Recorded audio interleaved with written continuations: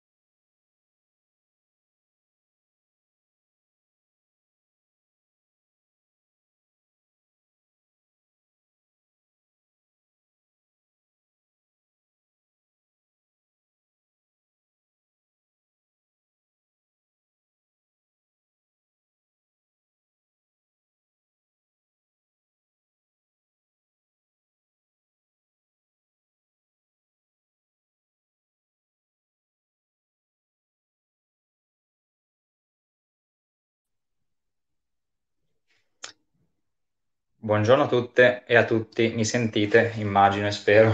Mi scuso per eh, il problema tecnico che abbiamo avuto, eh, però quando si fanno eventi in uh, virtuale, anche nel 2022 possono ancora accadere queste cose. Quindi mi sono collegato ora con il cellulare e spero che possiate tutti sentirmi lo stesso in, uh, forte e chiaro. Ehm, grazie per essere qui oggi, eh, ancora scusate per il ritardo nell'inizio, abbiamo perso i primi sei minuti. Eh, mi presento, io sono Alan Barbieri, sono eh, il eh, responsabile per i progetti e per le, le, partnership della fondazione The Human Safety Net e ehm, come eh, probabilmente saprete, ottobre in Italia è il mese dell'educazione finanziaria e eh, anche noi con The Human Safety Net abbiamo voluto essere presenti in, in, questo mese con un webinar come questo per raccontarvi di un progetto che stiamo portando avanti con eh, alcuni partner straordinari da, da due anni ormai. Um, il, il, progetto prende il nome di, in inglese perché è un progetto internazionale Enhancing Parenting Support with Financial Literacy, quindi in pratica in Italia si tratta di, in italiano, scusate, si tratta di sviluppare il supporto alla genitorialità attraverso l'educazione finanziaria. Um, come alcuni di voi sapranno, The Human Safety Net, in due parole, si occupa di sostenere eh, in 24 paesi del mondo il supporto alla genitorialità. Eh, abbiamo oggi 45 partner, lavoriamo appunto a livello globale e ehm, ci focalizziamo su eh, quei genitori che vivono in condizioni di vulnerabilità. Questo progetto ehm, è nato in collaborazione con, con Unicef, con, con Aflatun International, che è una, un'organizzazione non governativa eh, con sede in Olanda, e appunto ha una, una, uno sguardo internazionale. È stato lanciato infatti come pilota inizialmente sia in Italia, e il focus della discussione di oggi proprio sarà l'Italia, che anche in Indonesia. L'idea poi è quella eventualmente di eh, portarlo dopo aver avuto diciamo, delle informazioni più precise, dati più precisi sul eh, successo del, del, del, pilota anche in altri paesi del mondo.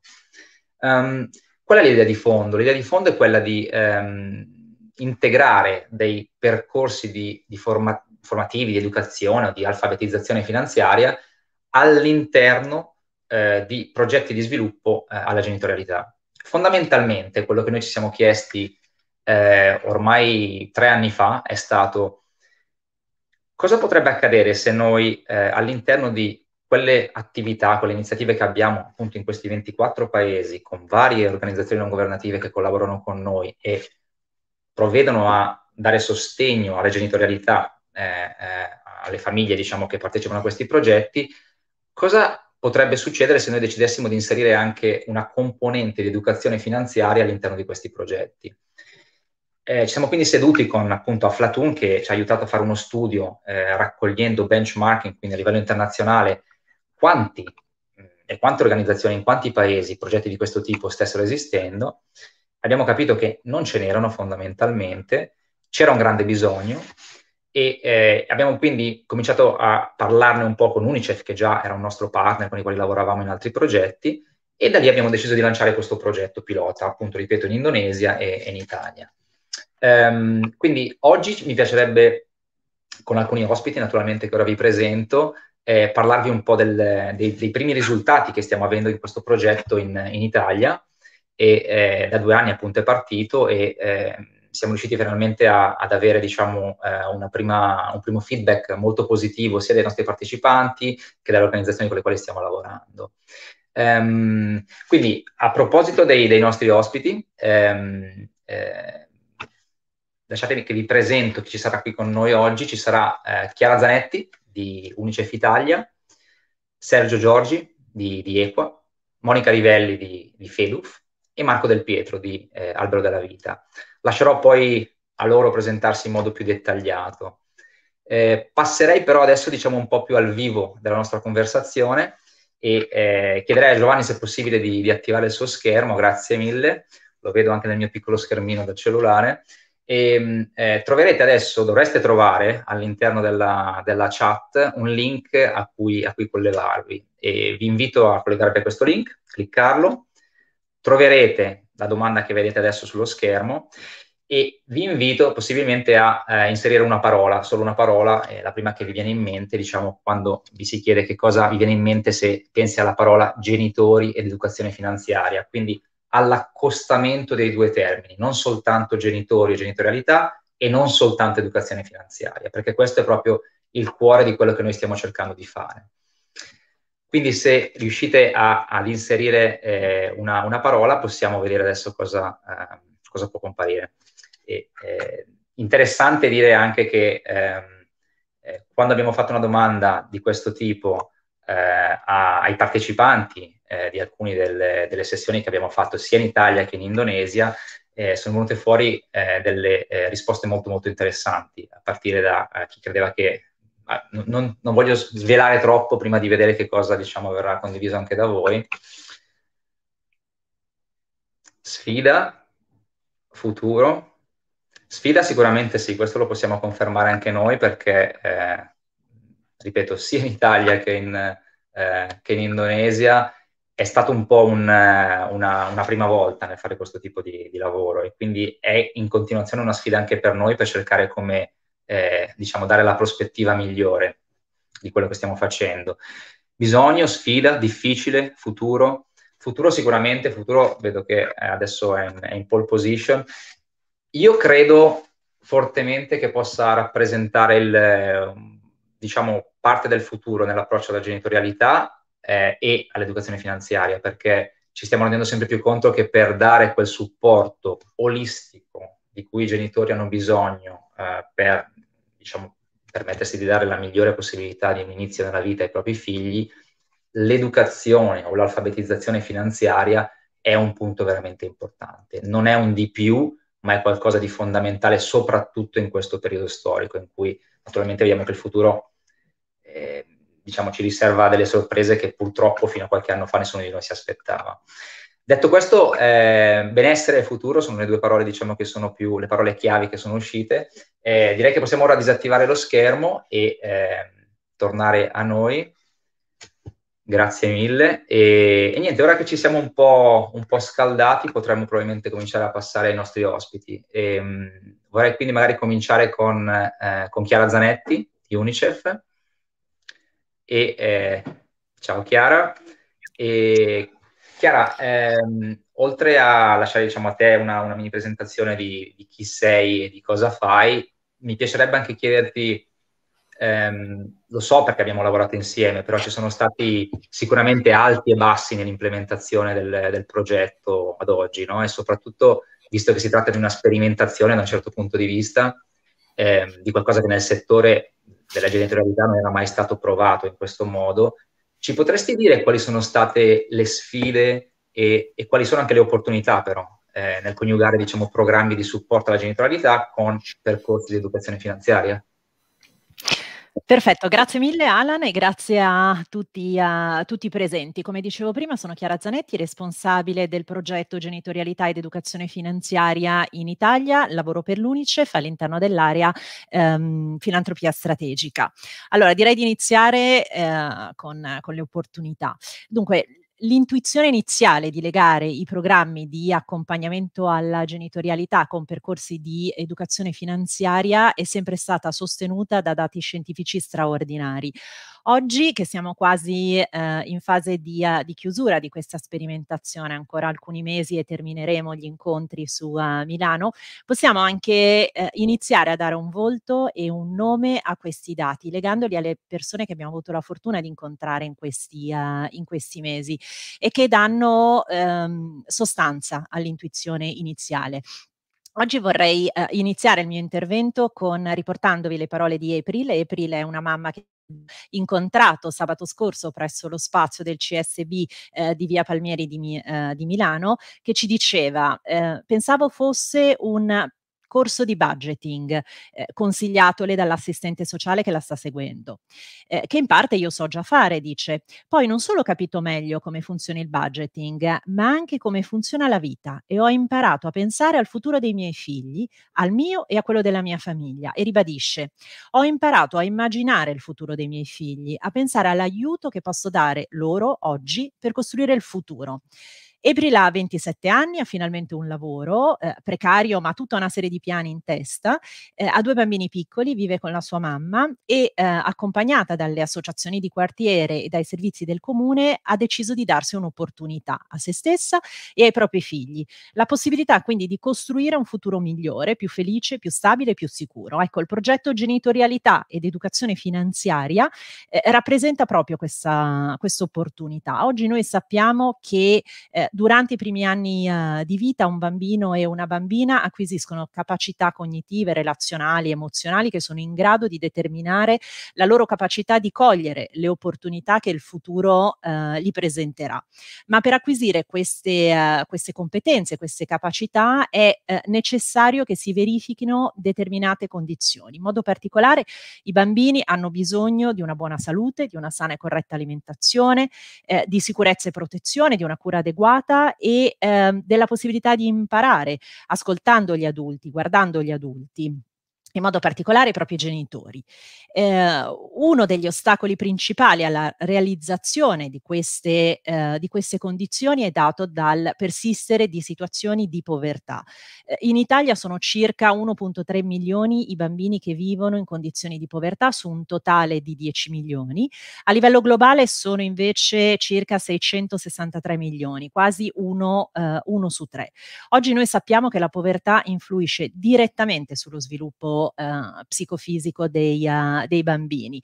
Eh, per esempio è stato dimostrato scientificamente che l'esposizione alla povertà nella prima infanzia impatta materialmente lo sviluppo del cervello, in modo particolare eh, l'ippocampo e l'amigdala eh, nei cervelli dei bambini che vivono appunto in contesti di povertà mostrano deboli connessioni con la corteccia ehm, frontale superiore che è responsabile della creazione di strategie di pianificazione, dell'attenzione, della concentrazione concentrazione, dell'autocontrollo degli impulsi.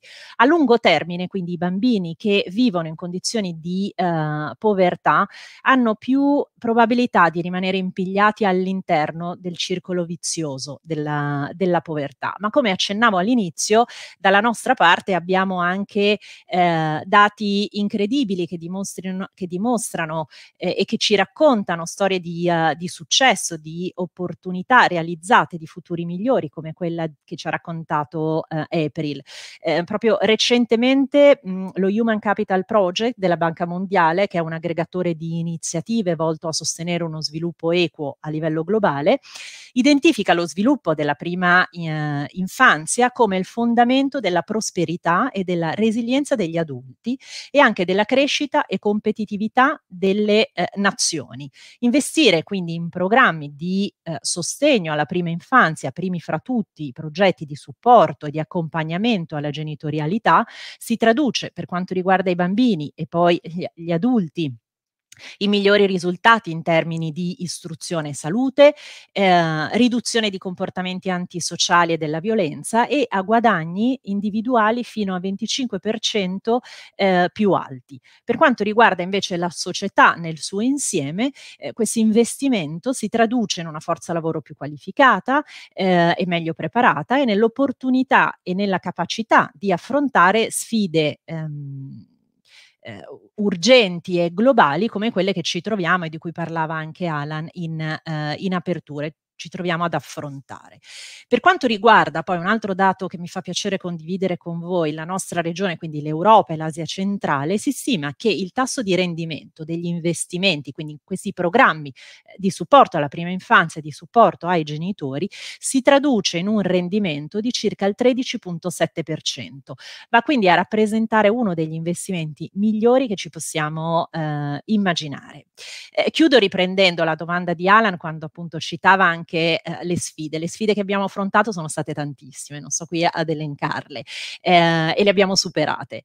Ehm, due sono eh, però le, le, sfide che un po' rimangono aperte che mi fa piacere condividere con voi eh, oggi. La prima riguarda la possibilità di rafforzare e diffondere quello che mi piace chiamare genitorialità finanziaria, cioè eh, che si traduce nel rendere eh, consapevoli i genitori del proprio ruolo e della possibilità di influenzare e plasmare positivamente le conoscenze e le competenze competenze dei bambini attraverso anche l'adozione di comportamenti finanziari eh, sani. E la seconda sfida è legata alla possibilità di rendere mainstream questa intuizione di eh, coniugare il sostegno alla genitorialità in programmi di educazione finanziaria attraverso la creazione per esempio di un consenso comune su questi temi, mettendo insieme pubblico e privato eh, in una logica di investimento nel presente e nel futuro della nostra società. Grazie. Grazie Chiara, grazie mille. E grazie per averci portato intanto un po' anche all'interno di una, di una vita con April, con, con, l'esempio che hai fatto di April, è, è, molto interessante. Mi sono segnato due passaggi di quello che hai detto, e, che secondo me sono fondamentali tra i tanti. Il fatto che la povertà influisca direttamente sullo sviluppo psicofisico dei bambini non è un'opinione di Chiara, per quanto rispetti le opinioni di Chiara, è un fatto. per cui questo è molto molto importante. E, e, l'altra appunto che dicevi un po' in chiusura è il tasso di rendimento del, diciamo, di, di, dell'investimento in progetti di questo tipo, quindi di genitorialità finanziaria come l'hai chiamata, secondo me è sempre più chiaro che sia eh, un investimento con un grande ritorno da tanti punti di vista. Per cui grazie Chiara, grazie per, per la risposta diciamo, a, per, il tuo primo intervento. E passerei ora adesso la parola a, a Sergio Sorgi di, di Equa, eh, quale saluto innanzitutto. E, eh, Sergio, ehm, come sappiamo i moduli eh, e il contenuto del progetto di cui stiamo parlando sono stati sviluppati eh, in lingua inglese originariamente, quindi e qua tra le varie cose eh, che ha fatto all'interno di questa iniziativa, di questo progetto, ha lavorato anche all'adattamento del modulo al contesto italiano e poi ha partecipato eh, anche alle sessioni face to face. Quindi mi piacerebbe capire un po' da te cosa vuol dire ehm, adattare un modulo di educazione finanziaria ad un contesto come quello italiano perché immagino che non si tratti semplicemente di fare una traduzione dall'inglese all'italiano, ma di una contestualizzazione. Quindi se ci puoi raccontare qualcosa in più di questo e anche se riesci poi a trasportarci in qualche modo all'interno di queste sessioni, per darci un po' un'idea a chi non ha potuto partecipare di, di come funzionano. Ok, innanzitutto grazie, grazie a tutti e grazie dell'invito. Uh, noi ci occupiamo di educazione finanziaria da, da una decina d'anni eh, abbiamo in capo alcuni servizi, fra cui quello del Comune di Milano, ma, ma per non essere saccenti, l'esperienza significa prevalentemente che gli sbagli li fai da giovane e adesso insomma eh, siamo un po' più sereni quando approcciamo progetti sfidanti come quello sul quale ci siamo confrontati. E così abbiamo insieme, è una parola che userò spesso perché non è rituale, messo a frutto eh, gli elementi progettuali partendo dal lavoro che era stato fatto che mi permetto di dire da, da docente e da formatore, è un lavoro eccellente. Però insomma ci siamo messi insieme, abbiamo provato a tradurre, a mettere in atto culturalmente e comportamentalmente un progetto sulla realtà italiana. Eh, quali sono gli elementi fondamentali perché questo possa riuscire? Sono prevalentemente tre. Il primo è che le persone devono riconoscersi in te, quindi non è la prospettiva docente esperto algido quella che, o algoritmico quello che funziona, ma le persone salgono a bordo del tuo tappeto volante se in qualche maniera eh, si riconoscono in te come persona che si pone come supporto. La seconda cosa legata alla prima è che abbiamo scelto una prospettiva di interpretazione delle persone come soggetti da, da capacitare, non come persone che erano in difficoltà perché venivano da comportamenti sbagliati.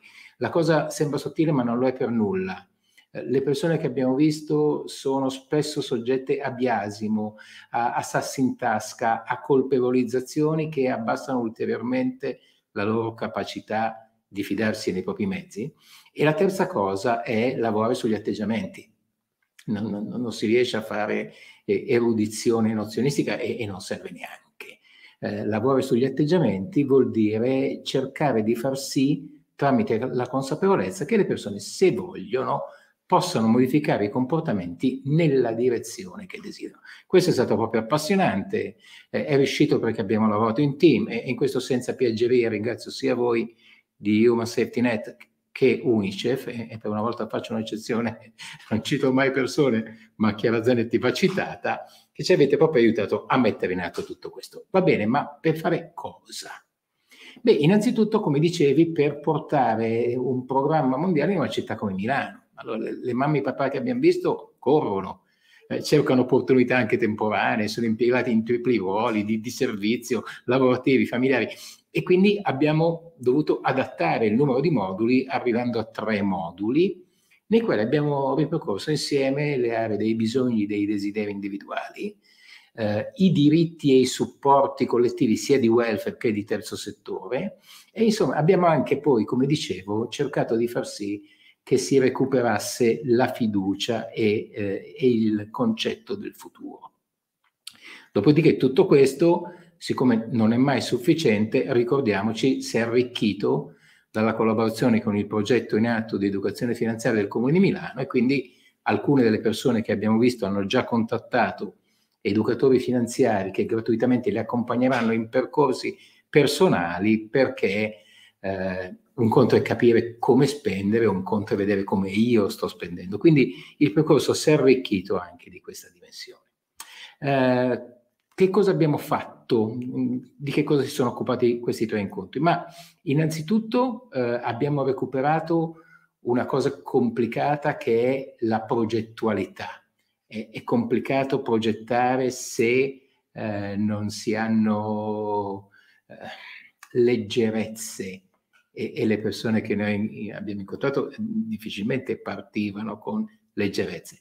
In secondo luogo, abbiamo cercato di dare un'overview complessiva che andasse oltre i semplici conti di casa, ma aiutasse un po' a capire tutte le, le probabilità e gli imprevisti del, del monopoli della vita, che sono certo arrivare a fine mese, eh, ma anche eh, togliersi di torno i, i, i, rischi, pensare alla fine lavoro, comprendere il senso della contribuzione. Insomma, abbiamo fatto un po' di lavoro insieme.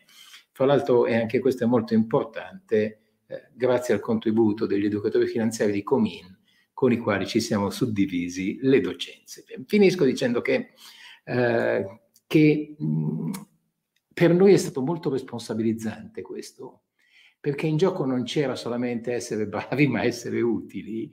E il, il, tema per noi non era attivare un buon processo formativo, era molto più impegnativo, perché era veramente aiutare i genitori ad andare nella direzione dei diritti dei bambini, quello che diceva Chiara, e eh, riequilibrare in qualche modo quella lotteria alla nascita che fa sì che non partiamo tutti con le stesse eh, opportunità, Ecco, quando ci sono progetti del genere che non sono di accrescimento delle competenze, ma sono proprio di accompagnamento, a cominciare ad alzare lo sguardo, uscire oltre la quotidianità e rimettere in moto atteggiamenti e comportamenti positivi, beh, insomma, questa cosa qua francamente è, è sentita molto come responsabilità positiva e credo che i risultati positivi che stiamo raggiungendo derivino proprio da, da tutti i fattori che vi ho detto. Grazie, grazie Sergio, grazie davvero. E, ehm, non, non, sto a ripetere i punti diciamo, di cui ho parlato, però c'è la parte, questa lotteria alla nascita a cui hai fatto riferimento alla fine che mi ha colpito molto, il, il privilegio con il quale eh, molti di noi nasciamo e che eh, spesso non ci rendiamo conto di avere e, e, che crediamo diciamo, che tutto quello che abbiamo guadagnato e che sappiamo e possiamo fare nella vita eh, sia dovuto grazie diciamo, nostre, ai nostri, solo ai nostri sforzi. Ebbene, c'è una partenza che spesso è un po' squilibrata ed è, e questo è molto molto vero, quindi riuscire ad intervenire anche su quello, dare la possibilità, come dicevi tu, di alzare lo sguardo credo che sia davvero molto importante. Quindi grazie per, per l'enorme contributo eh, che ci stai dando anche tu, perché insomma ho, uh, ho, avuto modo di vedere qualche sessione e devo dire che sono veramente, oltre ad essere molto interattive, anche molto, molto apprezzate da, dalle persone con le quali lavoriamo. Um, passerei al nostro prossimo ospite ora, a Monica, Monica Rivelli. Um, buongiorno Monica. Buongiorno. Monica, ehm, un altro come dire, grandissimo contributo alla realizzazione del, del, progetto di questa iniziativa di cui stiamo parlando è stato chiaramente apportato da, da FEDUF.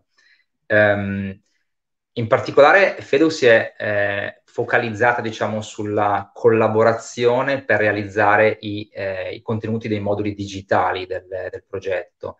Eh, sappiamo che come dire, ormai la digitalizzazione delle attività quasi è un must no? post-Covid e che però digitalizzare non può e, e non deve implicare diciamo, una riduzione del contenuto trasmesso da un certo punto di vista.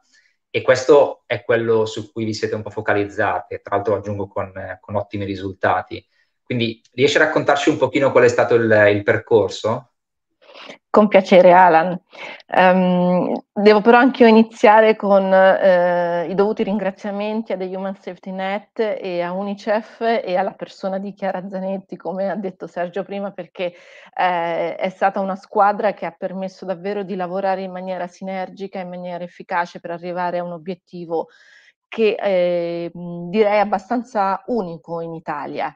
Eh, infatti questo accompagnamento che si sta facendo con questo progetto a educare i genitori, i neogenitori in particolare, perché poi ricordiamo che stiamo parlando magari di famiglie che hanno eh, bambini di età mh, molto piccola, quindi fino a sei anni, eh, è qualcosa che ehm, mancava un po' in Italia sinceramente. Quindi questo progetto ha dato modo di strutturare e mettere a sistema un percorso che è partito dal livello internazionale, come abbiamo visto, è atterrato sul lab milanese, eh, sul territorio milanese, ma poi eh, con il lavoro fatto da FEDUF, che appunto è una fondazione che eh, l'acronimo sta per Fondazione per l'Educazione Finanziaria al Risparmio, quindi fa questo di mestiere sostanzialmente concentrandosi su tutti i target della popolazione, grazie eh, alla collaborazione con voi è stato dato un booster se vogliamo, perché a mio avviso l'esperienza di April eh, di Milano eh, non è lontana dall'esperienza che potrebbe avere Giorgia a Napoli o Luigi ad Ancona.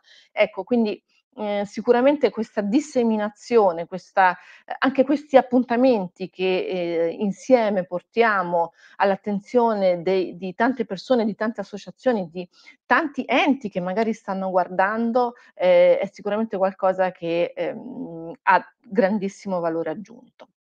Il lavoro fatto ehm, insieme è stato, come dicevi tu, quello di portare su piattaforma i moduli. Io ho preparato delle slide, ecco la prima slide esattamente, grazie mille, ehm, per raccontarvi un pochino la struttura della piattaforma che eh, possiamo anche eh, scrivere in chat il link, così tutti quanti, tutte quante le persone che ci stanno guardando possono anche accedere eh, alla piattaforma che è italy.passport, learningpassport.org, scusate.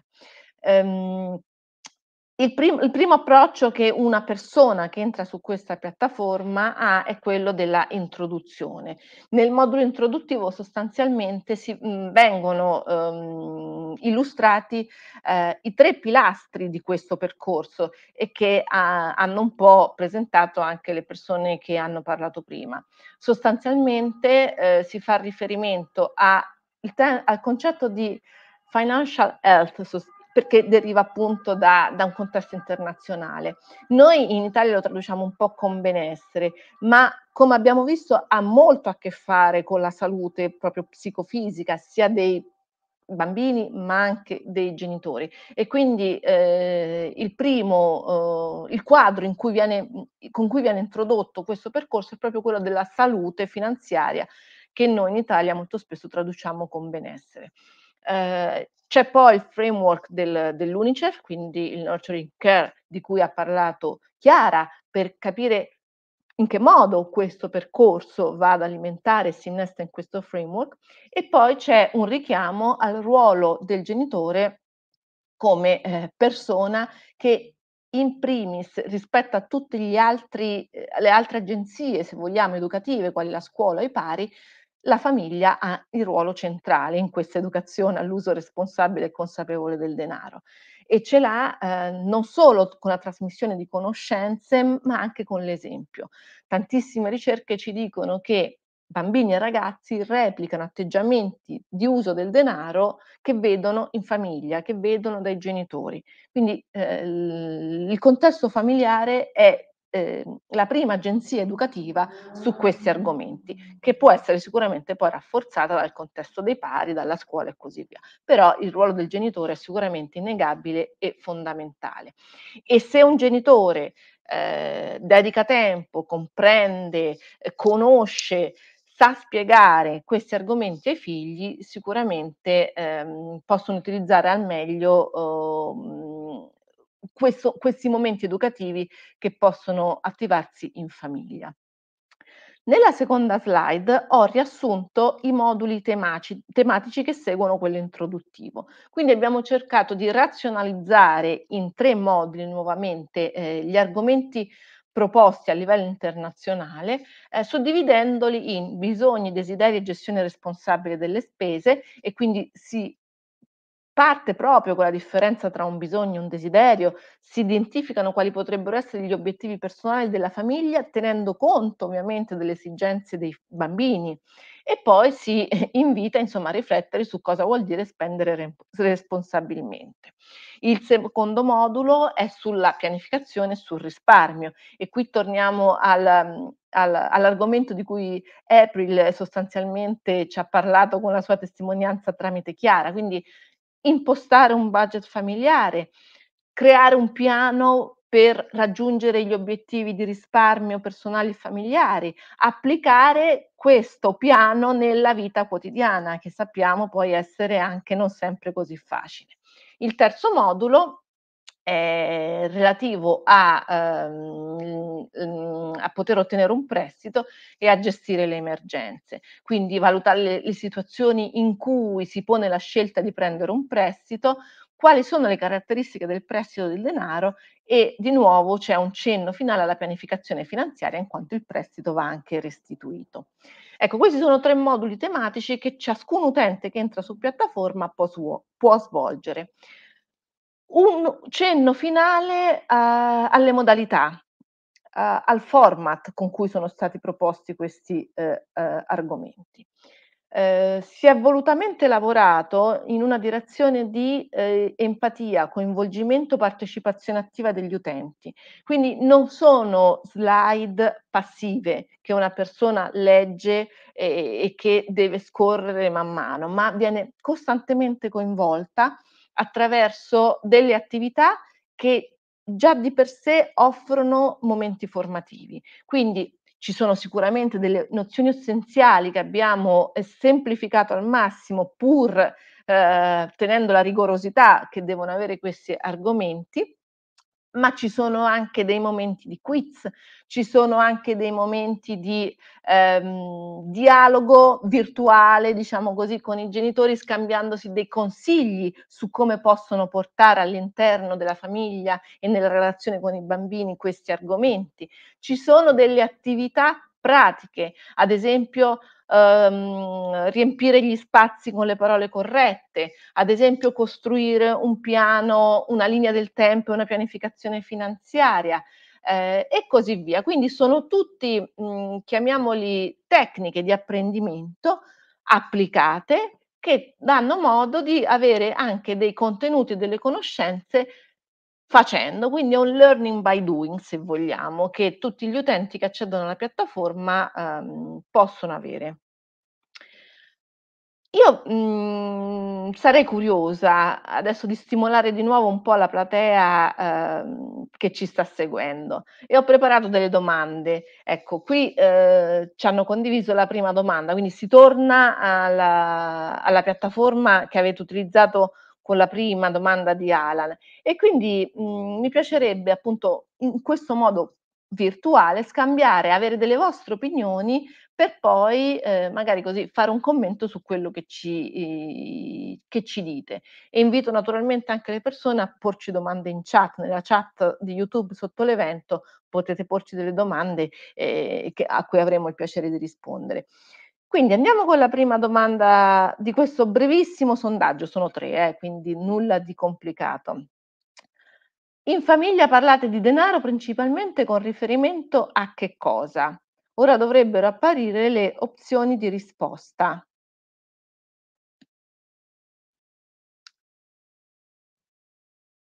Ok, state già rispondendo. Io faccio uno screen delle, delle risposte che stanno arrivando perché così poi le, le commentiamo insieme. Perfetto, direi che sicuramente la risposta a questo sondaggio è abbastanza inequivocabile, quindi la fa da padrone eh, la, la, il confrontarsi in famiglia sui problemi quotidiani. Stanno ancora rispondendo, quindi sto aspettando qui gli ultimi 10 secondi. Ok, direi che, eh, che ci siamo. Passerei alla seconda domanda del mio sondaggio. Nel parlare di argomenti economici con i tuoi figli ti senti più a tuo agio, mm, più in difficoltà oppure non ne parlo?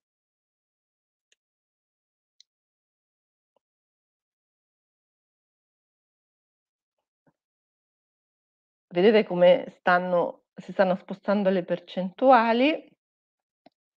Aspetto anche qui 15-20 secondi per dar modo a tutti di rispondere, ma direi che ci siamo abbastanza stabilizzati. Mi segno anche queste risposte e chiederei alla regia di passare alla terza domanda del mio sondaggio. Quali sono le principali difficoltà che riscontri nel parlare di denaro ai tuoi figli? Hai una difficoltà relativa all'età perché sono ancora troppo piccoli? Non riesco a trovare un modo adeguato per parlarne oppure ritieni che non siano interessati?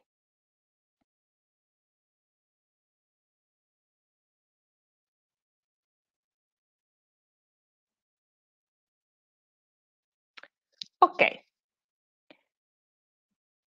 Direi che anche in questo caso le risposte si stanno abbastanza stabilizzando. Quindi vado a fare eh, lo screen, così io poi le avrò sotto mano e vado a chiudere il mio intervento commentando un po' questi, questi risultati. Ok, grazie alla regia per avermi aiutato e supportato in questo momento di sondaggio. Allora, facciamo un commento generale a, a quello che è, è stato detto.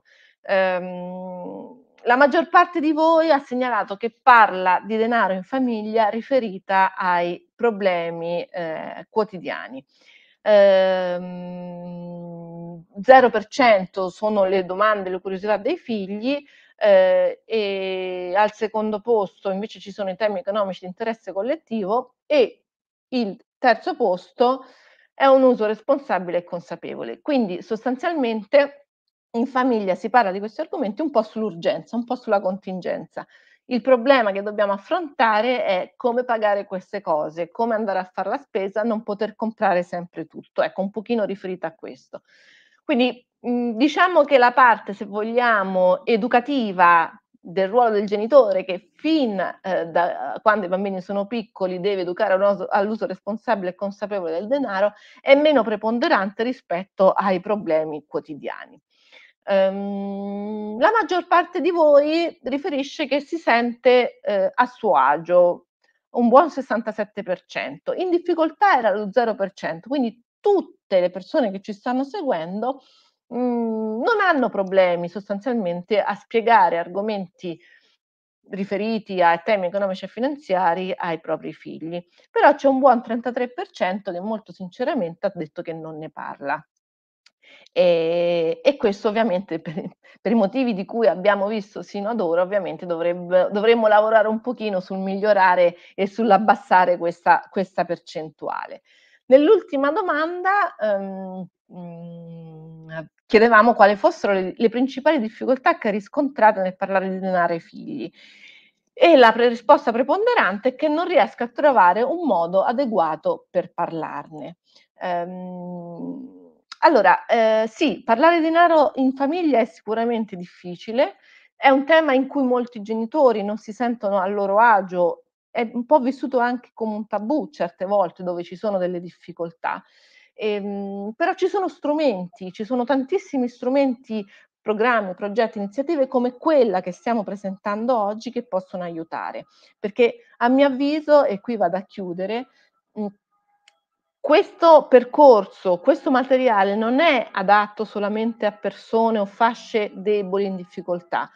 Questo strumento, eh, questo percorso, gli argomenti che vengono proposti dovrebbero essere patrimonio comune di tutte le coppie che diventano genitori, perché ovviamente questo è un momento fondamentale nel cambio della vita di una famiglia, uno dei più importanti anche a livello finanziario e ehm, purtroppo non ci si arriva sempre preparati.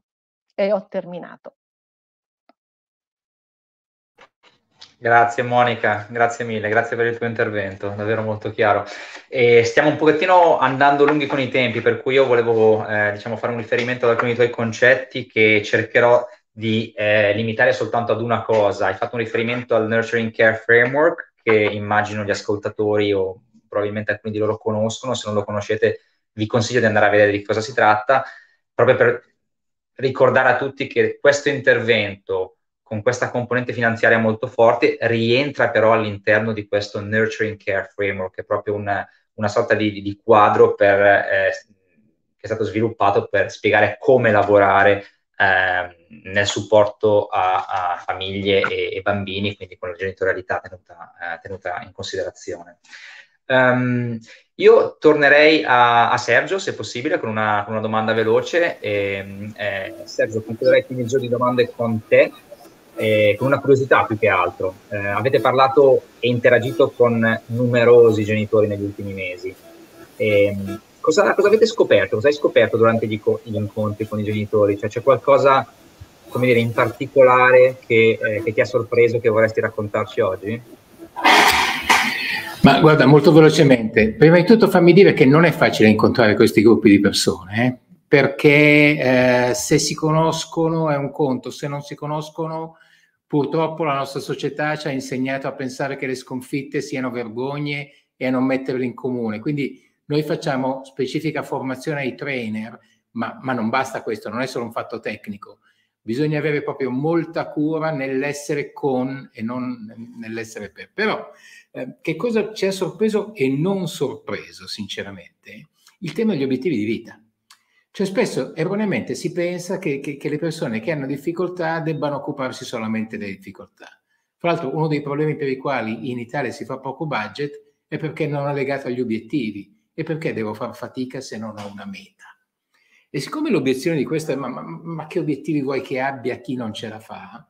La verità, che è una scoperta, ma, ma non una scoperta, è che tutti, se sono messi in grado di alzare lo sguardo e di progettare, eh, rimettono in cammino degli obiettivi. Guarda, io ancora negli occhi piccole e grandi cose che i genitori ci hanno detto e penso seriamente che una mamma incontrata farà un corso di perfezionamento che non pensava di fare, che un'altra eh, riuscirà a comprarsi la macchina usata che non aveva formalizzato, ma che una volta che è diventata visibile a tutti è diventato un obiettivo. Un'altra forse riuscirà a aprire una pizzeria, eh, qualcun altro ha recuperato il tempo per raccontare le fiabe ai propri bambini. Insomma, rimettere in moto la, il fatto che tutti hanno il diritto di sognare, di desiderare e che i sogni e i desideri possono diventare piccoli, grandi progetti che si possono attuare è una cosa che volevo proprio comunicarvi. Sono piccoli impatti individuali? Sì, ma che si traducono in grandi impatti sociali. Grazie Sergio, grazie davvero. È, è, chiarissimo il concetto e ti ringrazio davvero per come lo stai portando. Um, mi piacerebbe ora eh, passare alla testimonianza di un, di un, nostro partner con il quale abbiamo lavorato sul territorio, eh, un'organizzazione che tutti i giorni da, da, anni è attiva sul territorio italiano a sostegno delle famiglie che vivono soprattutto in condizioni di vulnerabilità e parlo di Albero della Vita, eh, che è un partner anche di, di Human Safety Net in, in, molti progetti. E qui con noi oggi c'è, c'è, Marco, Marco De Pietro, che lavora come educatore presso uno dei centri eh, di Albero della Vita a Milano. E, ciao Marco, buongiorno. Buongiorno. E, Marco, ehm, mi chiedevo come mai avete deciso di partecipare a questo progetto? Quali sono, eh, diciamo, e, e, dopo che ci rispondi a questa domanda, quali sono le tue impressioni dopo aver partecipato proprio come educatore in questo percorso? Eh, le tue impressioni di quello che hai avuto modo di raccogliere, no? come impressioni anche da parte dei genitori che hanno partecipato, giusto per portarci un po' all'interno di queste stanze no? e farci capire esattamente che cosa è avvenuto. Grazie. Grazie, grazie a voi. Grazie al progetto proposto i nostri beneficiari e le nostre beneficiarie hanno avuto modo di approfondire e consolidare tematiche che già ci è capitato di trattare con loro qui nel centro di Ora di Futuro. È stato però un momento in più importante e ben strutturato per avere maggiore consapevolezza di una buona educazione finanziaria in casa è un concetto al quale gli adulti coinvolti si stanno pian piano abituando, ma che poi riescono a trasmettere anche ai loro figli e alle loro figlie. Ed è questo un passaggio rilevante. Come la mamma Erika che, stimolata dagli incontri, ha poi costruito con la figlia un piccolo salvadanaio a forma di porcellino ed insieme stanno risparmiando quel che possono per per andare in vacanza l'anno prossimo, visto che quest'anno non ci sono riusciti. O come il papà che ha detto alla propria moglie ho sempre pensato che fosse importante fare una rendicontazione delle entrate e delle uscite, ma non sapevo come poterlo fare, pensavo che fosse più difficile. Quindi il progetto di, di educazione finanziaria ha dato non solo maggiore consapevo- consapevolezza, ma anche poi allargato la prospettiva di, di molte persone spesso sono così ancorate giustamente alle difficoltà del qui ed ora che hanno poco spazio e tempo per pensare al loro futuro e a quello dei loro figli. Il nostro e il vostro accompagnamento ha permesso loro di spostare lo sguardo, come si diceva prima, un po' di alzarlo, ma io direi anche di spostarlo verso, verso il futuro e quindi di pensare al, al domani proprio partendo da una gestione diversa e più attenta dei loro soldi e soprattutto attraverso dei piccoli e semplici cambiamenti di, di abitudini o comportamenti. Quindi io vi, vi, ringrazio a nome del Centro Ora di Futuro, ma anche e soprattutto dei nostri beneficiari e beneficiarie. Grazie, grazie Marco, grazie mille. E, ehm, direi che siamo, siamo, in chiusura, come vedete un po' dal, dal, dal tempo, l'ora sta scadendo e ehm, eh, ci piacerebbe ora passare diciamo, al, al, momento QA. Non abbiamo tanto tempo, ho visto che sono arrivate, mi hanno comunicato che sono arrivate due domande già dal, dal pubblico, dall'audience, ehm, e vorrei cercare di rispondere a queste due domande. Ehm, naturalmente, eh, diciamo, mi piacerebbe adesso chiedere una cosa alla regia che non abbiamo programmato, se fosse possibile avere diciamo, tutti quanti in presenza in questo momento, perché avete fatto riferimento tutti al grande lavoro fatto di squadra e per me questa è la cosa fondamentale del motivo per cui questo, eh, questa, questa iniziativa, questo progetto sta andando avanti nel modo in cui sta andando avanti, nel senso tutte le persone che vedete qui sullo schermo e tante altre che ci sono dietro hanno collaborato e stanno collaborando per farlo diventare quello che è diventato un progetto pilota, in questo caso lanciato in Italia, che crediamo e speriamo possa essere replicato in varie zone del paese e in altri paesi. Detto questo, ehm, le due domande che eh, abbiamo ricevuto sono, la prima è sono una, una onlus, come posso offrire ai miei genitori il corso di formazione? E la seconda è come si diventa divulgatori di, di questi concetti. Um, allora, ehm, ci sono i due livelli che abbiamo presentato prima, no? sono i moduli in digitale, ci sono le sessioni in presenza. Un, una cosa secondo me molto importante da, da, spiegare è il fatto che partiamo dai moduli digitali. I moduli digitali sono stati, come dire, pensati e sviluppati come supporto per i genitori e per gli educatori eh, che sono coinvolti in tutto questo percorso. Quindi è una sorta di strumento aggiuntivo dove poter andare a prendere alcuni concetti chiave affrontati nel corso, eh, sperimentarsi con dei quiz, con dei test, o anche solo per scaricare del materiale che però diciamo sia aggiuntivo a quello già discusso durante il corso in presenza. Eh, quindi il nostro consiglio è quello di come dire, utilizzare questo materiale in questo modo come accompagnamento di un percorso più ampio e arrivo a dire che potrebbe essere poco efficace o anche controproducente utilizzarlo in modo diverso, cioè scaricarlo ed utilizzarlo, diciamo così, a sé stante. Però su questo poi adesso mi rimetto appunto anche a Chiara, Monica, Sergio, se vogliono aggiungere qualcosa. E poi per quanto riguarda le sezioni in presenza, eh, l'obiettivo, mh, non lo nascondiamo, è quello di, di, farne sempre di più e di farlo in sempre più posti e di farlo con sempre più organizzazioni e più persone. Il progetto però ancora non è finito dobbiamo concludere ancora i percorsi che sono ancora in corso appunto con le associazioni come Albero della Vita, ehm, altre organizzazioni con le quali stiamo sperimentando questo percorso in Italia sono il Centro per la Salute del Bambino, eh, Mission Bambini e l'Associazione di Quartieri Solari 40, che tra l'altro ringraziamo che oggi non sono qui presenti con noi, ma sono facce che dovrebbero essere qui con noi. Eh, quindi al termine di questo percorso che, che stiamo facendo tra l'altro nei due paesi, eh, raccoglieremo tutti i materiali che sono emersi e cominceremo appunto a ragionare anche a livello internazionale come potenziare questa sperimentazione per renderla sempre più sostenibile eh, sia nel tempo che nei, che nei, luoghi. E vi anticipo che a fine gennaio, data da definire, eh, stiamo pensando appunto di avere un, eh, un evento, ehm, in questo caso internazionale, quindi in lingua inglese, eh, che mh, segnerà diciamo un po' la fine ufficiale del percorso fatto finora di questo progetto pilota e quindi su questo vi terremo sicuramente informati. Non volevo chiudere con la mia voce, eh, volevo chiudere con eh, la voce dei, dei, colleghi che sono qui con me, quindi se qualcuno ci tiene ad aggiungere qualcosa eh, in riferimento alle due domande fatte o ad altro, prego.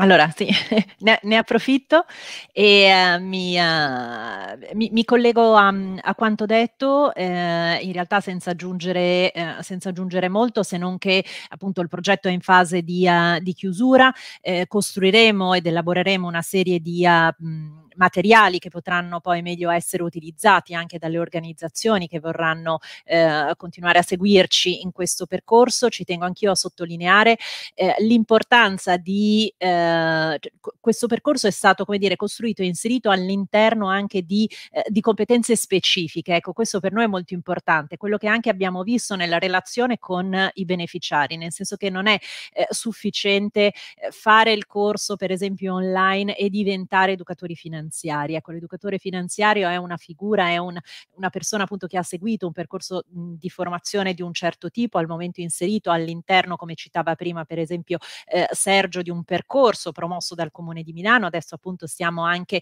immaginandoci come rendere questo eh, percorso e questa opportunità più eh, sostenibile, trasversale e applicabile in altri, eh, in altri contesti.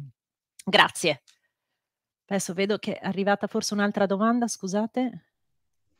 Grazie Chiara. Mentre legge la domanda mi collego a quello per dire che è bellissimo ed è parte, diciamo, anche di quello che era l'obiettivo iniziale, il fatto che eh, eh, si stiano aprendo ulteriori collaborazioni, il fatto che ci stia arricchendo il percorso, appunto il Comune di Milano è un esempio, ce ne possono essere tante altre. Questo è un percorso che non vogliamo fare in esclusiva tra di noi, ma che vorremmo potesse diciamo, coinvolgere sempre più potenziali attori e partner, per cui di questo sono molto molto contento. Se abbiamo altre domande da affrontare, d'accordo, quindi direi che sono le 13 esatte, perlomeno sul, sul mio piccolo telefono che ho davanti, e quindi cercando di rimanere in orario. Ehm, magari a nome di tutti io ringrazio per, per aver partecipato, per essere stati qui con noi oggi.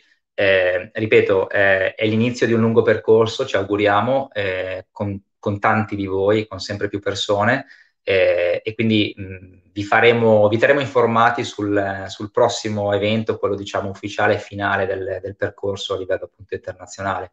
E per il resto ringrazio gli ospiti, ringrazio Chiara, eh, che appunto è stata un po' il, il cardine di tutto quello che è accaduto finora, eh, il motore. Eh, ringrazio Monica e naturalmente il il team dietro a Fedu che ha collaborato per eh, diciamo, eh, aiutarci nella digitalizzazione dei, dei, processi e per appunto avere questi tre moduli sempre più contestualizzati al contesto italiano. Eh, ringrazio Sergio che eh, ho avuto la, la, fortuna e l'onore di vedere anche in prima persona attivo eh, in queste sessioni e, e ringrazio, ringrazio, Marco, ringrazio che, appunto che rappresenta uno dei partner qui oggi, so che c'è anche il Centro per la Salute del Bambino che ci sta seguendo, eh, Mission Bambini appunto e, e, gli altri partner che hanno lavorato con noi eh, su, questo, su, questo, progetto ad oggi, appunto Quartiere Solari eh, 40, l'ultimo dei, dei quattro di questo pilota. Quindi grazie a tutti, eh, vi auguro un, un, buon venerdì, un buon fine settimana e ci riaggiorneremo su queste eh, frequenze per il prossimo eh, evento. Grazie. Grazie a tutti. Grazie.